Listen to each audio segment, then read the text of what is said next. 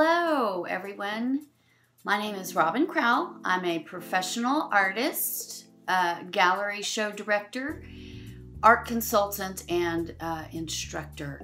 On March 14th in San Marcos at the new Center for the Arts, I did a live demo.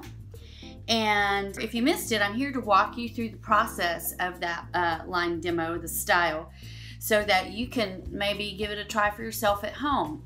So the piece that I created is very similar to this one in the background, a continuous line. It was done in acrylic with a live audience. And the name of the piece is River Romance, and you can see that on the San Marcos Center for the Arts website. It is for purchase, and half of the proceeds go towards the Art Center and the San Marcos Art League. I'm gonna just take you through the process of, of what I did there. So you can maybe give it a try at home and try your hand at it at home.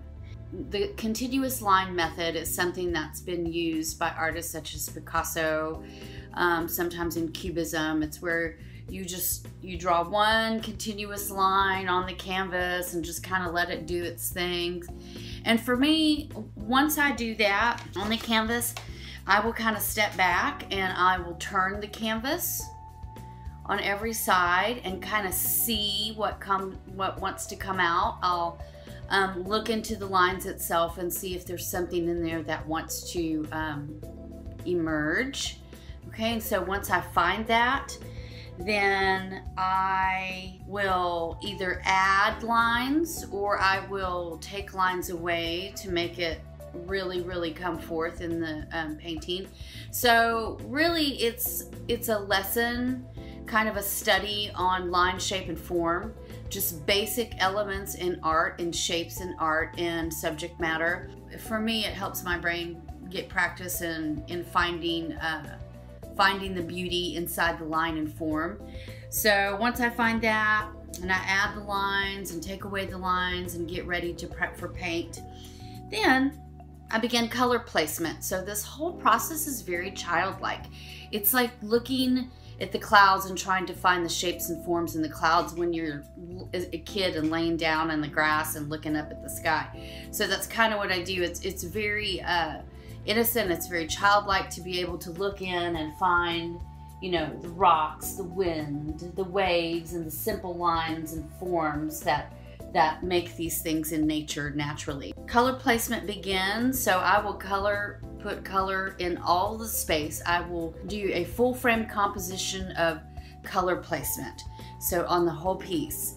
And then once that's done, I go back and start detailing. So the whole process is one of layers and it is a process and it does take time but it's real if you let go and just enjoy the process it's really really wonderful creativity is messy and that's okay. We're supposed to be messy and have fun. Um, it is part of the childlike process. I I always say, you know, just play and have fun when you're making art, and you should have fun. You should enjoy what you're doing. When you get to professional level, you should still play. You've just taken it to a, a higher level of play. My inspiration for continuous line. It is no secret that if you know me, that I am a huge fan of Picasso's. So I love how he took risks. I love how he created fervently and passionately and prolifically. I mean, he was always creating work constantly every day. That's one of the things I admire most about him is that he would just his creative process was a purging and was experimentation and he left us with so many wonderful uh, epic styles and things that only he contributed to the art world. And love him or hate him, he's like forever famous. So, um, you know, a lot of this artwork here that you see, including River Romance, that was done in the live demo, is inspired by Picasso, his style, his energy, his boldness, his risk, his courage.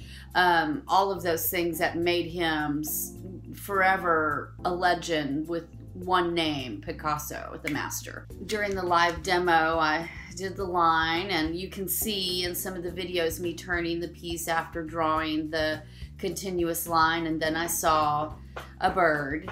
And because I was in San Marcos, and there, you know, guys are known for the river and and all of that, um, just wildlife and beauty and nature and hill country and rock. You know, I kind of went with that and did the two birds in the river, um, river romance and um, it just kind of happened and it, it, turned out really beautiful and i'm very proud of that piece and thankful for the san marcos center for the arts and san marcos art league for having me there to do a live demo i just wanted to pop in and kind of give you a little insight on the process with acrylic and continuous line and picasso inspiration i hope that you give it a shot take a chance, create a continuous line piece of art, and I'd love to see it. Be safe, be blessed during this time right now.